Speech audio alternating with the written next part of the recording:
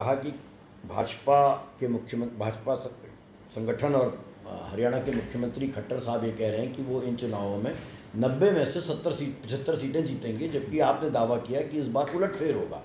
और आप यानी कि कांग्रेस कम से कम पचहत्तर सीटें जीतेगी और सरकार बनाएगी। पर मेरा प्रश्न आपसे ये है कि आपकी कांग्रेस में हरियाणा कांग्रेस में सबसे बड़े नेता के रूप में पूर्व मुख्यमंत्री भूपेंद्र सिंह हुड्डा का नाम लिया जाता है। जी।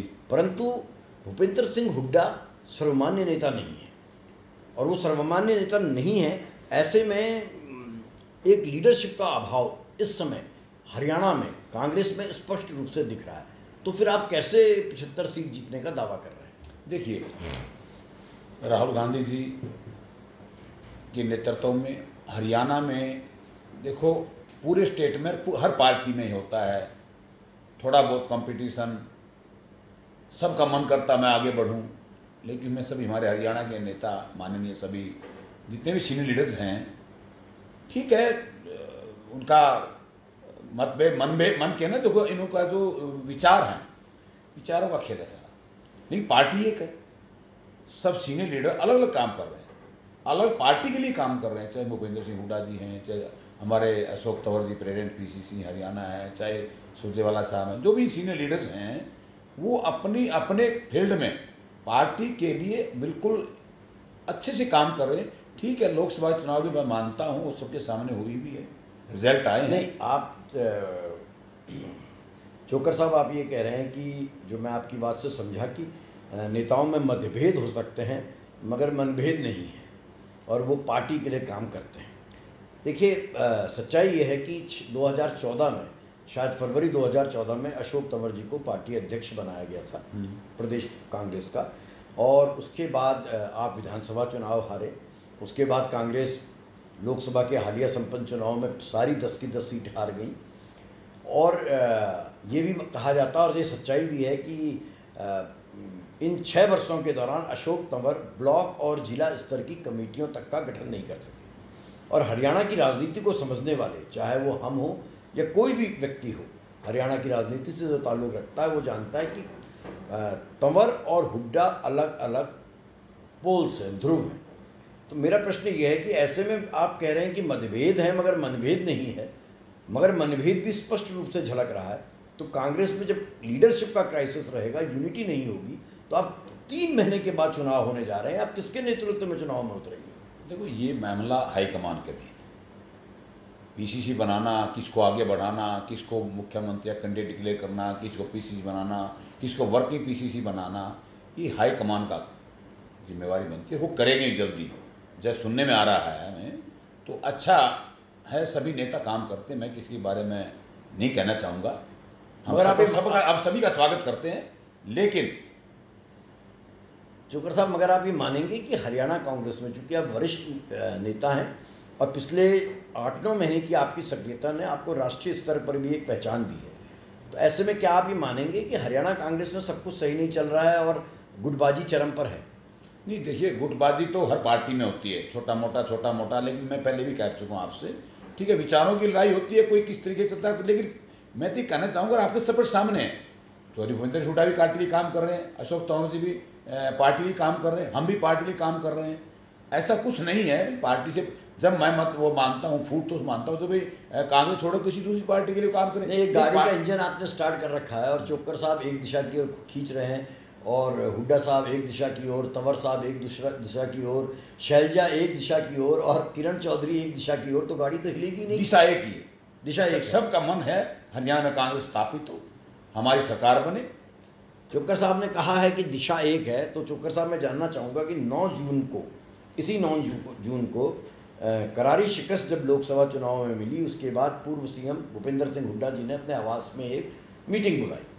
और उस मीटिंग में अगर मैं गलत नहीं हूँ आप भी वहाँ मौजूद रहे होंगे वहाँ दस विधायक आए थे और हुड्डा जी ने कहा कि दो विधायक किन्हीं कारणों से नहीं आ सके। ग्यारह ग्यारह आए ग्यारह आए थे बाकी चार विधायक उसमें उपस्थित नहीं थे। पंद्रह विधायक आपके हैं। पंद्रह दो तो नहीं थे। जी अब मेरा प्रश्न ये है कि उन सत्रह हैं सत्रह हैं। सत्रह में से चार या पाँच विधायक नहीं थे। चलिए कोई बात नहीं। रणजीत सुरजेवाला, जो आपके राष्ट्रीय मीडिया प्रभारी हैं और कांग्रेस अध्यक्ष के करीबी हैं, वो उपस्थित नहीं थे। किरण चौधरी जो एमएलए हैं, वो नहीं थी और रेणुका और कुलदीप बिश्नोई भी नहीं थे। और इससे पहले आपको याद होगा और सभी को याद है, पूरे देश ने देखा कि जब आपके केंद्रीय प्रभारी आज़ाद साहब ने मीटिंग बुलाई तो उनके समक्ष, जबकि आज़ाद साहब शायद विधानसभा का एक ब्लूप्रिंट लेकर आए थे, उनके समक्ष हुड्डा और तंवर के समर्थक भिड़ गए और यहाँ तक कि अशोक तंवर को कहना पड़ा कि मुझको गोली मार दो, ये मीडिया में भी चला। तो ऐसे में मतभेद की बात नहीं है, मगर मनभेद की बात सामने आ रही है कि दोनों बिल्कुल एंटी कैंप हो चुके हैं। देखिए, गुलाम नबी आज़ाद जी हमारे जनरल सेक्रेटरी इंचार्ज मैं उनका स्वागत करता हूँ, उन्होंने बड़े प्रयासों से, राहुल गांधी जी के सहयोग से, आशीर्वाद से, कांग्रेस को एक एक एक रथ में बैठाया था। आपको ध्यान होगा, लोकसभा चुनाव से पहले हमारे सभी नेतागण जिनका आप नाम ले रहे हैं, सभी एक एक एक रथ में सवार हम भी थे। सभी नेता उस रथ में सवार थे। लेकिन जहाँ तक भूपेंद्र सिंह हुड्डा जी की बात कर रहे हैं, मीटिंग की नौ जून की, उसमें मैं टीम उपस्थित था। करीब सत्तर भूतपूर्व विधायक शामिल हुए एक्स एमपी शामिल हुए एक्स तीन चार एक्स पीसीसी प्रेसिडेंट भी शामिल थे और उसमें ग्यारह विधायक, दो कहीं विधायक बाहर बाहर घूमने गए थे तो उनका मैसेज आ गया था उनका माइक के माध्यम से सबको बता भी गया था अब वो बाहर पर सुरजेवाला किरण चौधरी वो अपने वो कहीं पार्टी कार्यक्रम में व्यस्त थे ऐसा नहीं है एक पार्टी- सीएम मीटिंग बुला रहा है पार्टी की चिंतन मंथन की और उस मीटिंग में पार्टी के प्रदेश अध्यक्ष भी नहीं हैं वो 12 जून को दूसरी मीटिंग बुलाते हैं और एक मीटिंग में कुछ लोग हैं दूसरी मीटिंग में कुछ लोग हैं। तो मे, मेरा प्रश्न आपसे यह है धर्म सिंह जी कि ऐसा क्यों है कि कांग्रेस सबको दिख रहा है हमको दिख रहा है बाहर बैठे लोगों को दिख रहा है मगर आप लोग इसको स्वीकार नहीं रहे कि अब वक्त है कि सब एकजुट होकर काम करें यदि आपको भारतीय जनता पार्टी से अ, सत्ता लेनी है।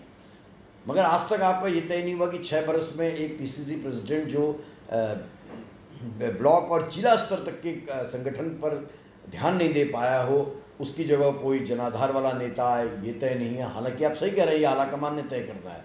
मगर आला कमान तय कैसे करेगा? क्योंकि इतने गुटों में पार्टी बटी हुई है, किसी एक के नाम पर सहमति बनती नहीं है। देखो, मैं स्पष्ट बात करना चाहूँगा, पार्टी के हित की बात करना चाहूँगा। इसमें कोई दो राय नहीं, आप सच कह रहे हैं।